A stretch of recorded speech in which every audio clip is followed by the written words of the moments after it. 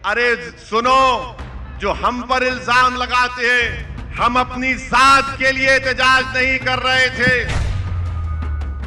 अगर हमने एहतजाज किया तो हमारे सामने हमारी आखरत थी कि हम अपने रिश्ते गुलामी को मज़बूत करने के लिए आए हैं। हम मोहम्मद सल्लल्लाहु अलैहि वसल्लम के उम्मती हैं।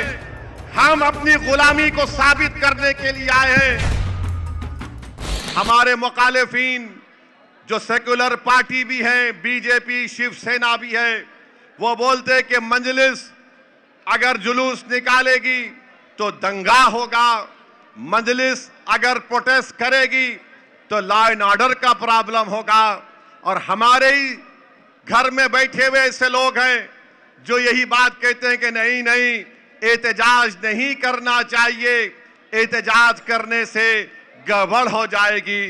अरे सुनो, जो हम पर इल्ज़ाम लगाते हैं, हम अपनी जात के लिए एहतजाज नहीं कर रहे थे।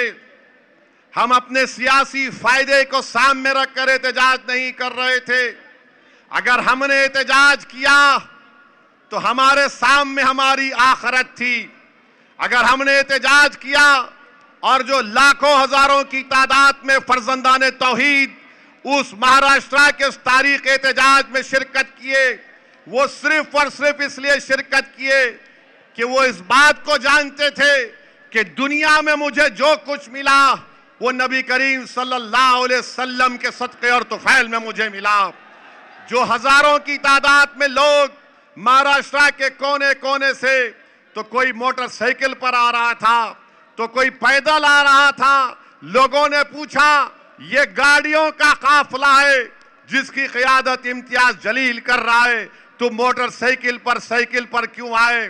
तो सबने कहा कि हम अपने रिश्ते गुलामी को मज़बूत करने के लिए आए हैं। हम मोहम्मद सल्लल्लाहु अलैहि वसल्लम के उम्मती हैं। हम अपनी गुलामी को साबित करने के लिए आए हैं।